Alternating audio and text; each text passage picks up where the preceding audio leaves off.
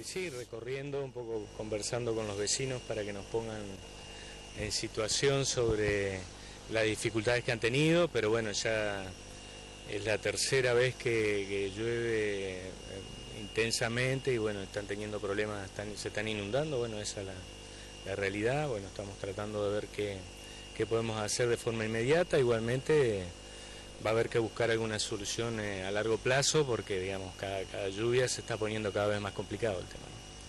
¿Qué, es lo que padece concretamente este barrio? ¿no? ¿Es una pendiente? ¿Sería una bajada que acumula y hace el, el tape de desagüe? ¿Cómo sería? Sí, sí, este es el bajo y a lo que estamos viendo que el túnel nos está dando abasto para sacar el caudal de agua que está, que está lloviendo. Bueno, ¿cuántas familias fueron las que concretamente le brindaron asistencia? No, acá entre 20 y 30 familias seguro este, están en, situación, digamos, complicada, pero eh, también es como que el agua, eh, así como aparece de repente, también se va rápidamente. Eh, pero hay, hay familias más vulnerables, digamos, gente con dificultades motrices, este, hay distintas situaciones, ¿no?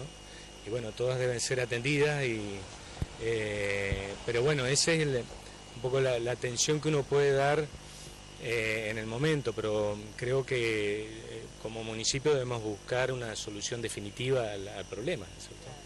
Este, por eso, bueno, hoy por hoy se está, o mañana se va, se, va a llevar adelante alguna limpieza a fondo de lo que es los canales, también para revisar y ver si no está obstruido en algún punto, porque puede, puede suceder también y que no no lo estemos detectando.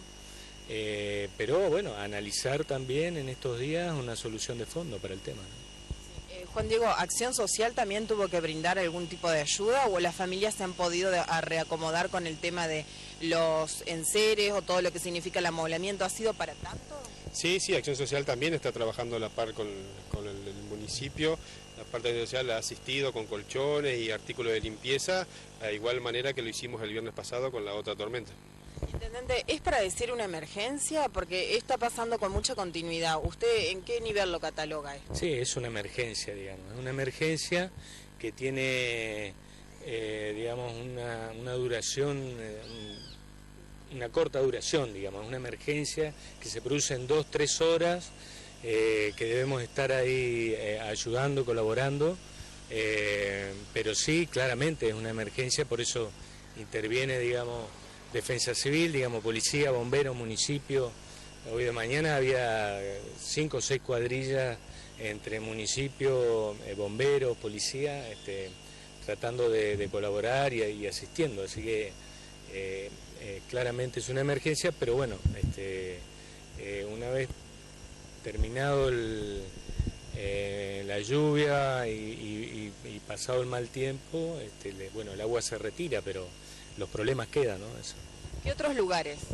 Otros lugares fueron la zona de Loteo Martínez, que esta vez no alcanzó a entrar tanta agua, el agua como entró la lluvia del viernes. La zona de Florentino Gómez Miranda también tuvimos algunos problemas y Jorge Heinz al final. Bueno, uno piensa, ¿no? Es mucho de golpe. ¿Tienen la cantidad de gente que necesitan para todo esto? Hay que distribuirse también. Sí, sí, la gente está. Nosotros, digamos, eh, desde el primer momento, cuando asumió el intendente, pusimos en marcha defensa civil. Anoche justo teníamos la reunión y habíamos hecho la evaluación de, la lluvia del viernes, que estuvimos trabajando todo en conjunto. Y hoy también se trabajó en conjunto con bomberos, la policía, y el, municipio, la parte de acción social, todos trabajando para darle la solución lo antes posible al vecino. ¿Qué se prevé en marzo, Darío? Porque me imagino que están poniendo en marcha varias estrategias. Sí, nosotros hoy eh, estamos enviando un nuevo presupuesto de 2016 para, su aprobación. En la próxima semana lo vamos a tener ya en funcionamiento.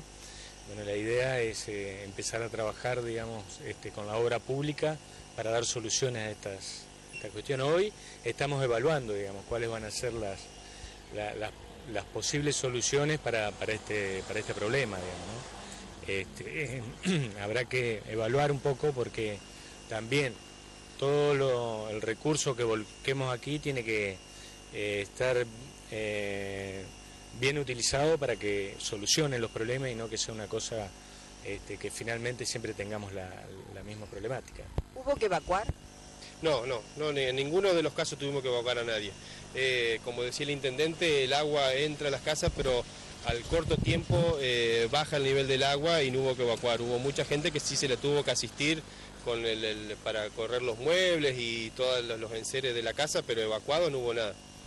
¿Desde acá dónde van ahora?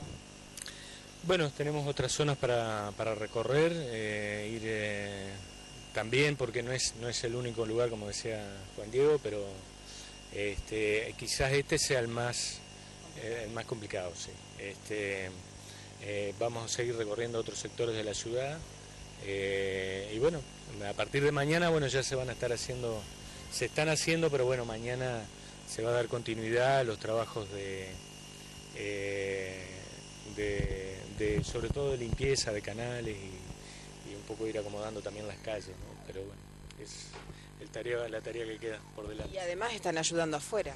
Sí, nosotros tuvimos hoy de mañana temprano, tuvimos nos llamó el presidente de la Junta de Gobierno, María Luisa, y habíamos ido con tres cuadrillas a, cortar árboles y limpiar la ciudad porque realmente fue importante el daño que hizo la ciudad de María Luisa y alcanzamos a limpiar todas las calles junto con la Junta de Gobierno cuando se largó la tormenta y bueno, regresamos a Crespo. Los dejamos que sigan en la tarea y por supuesto agradecidos. Bueno, gracias a vos por estar. Muchas gracias. Muchas gracias.